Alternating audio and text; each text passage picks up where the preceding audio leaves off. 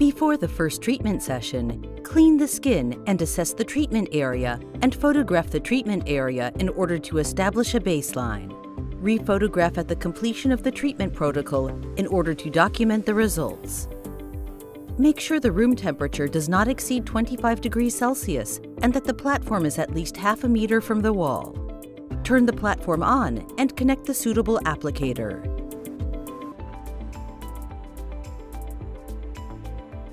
After selecting the impact applicator from the control panel, set the recommended parameters.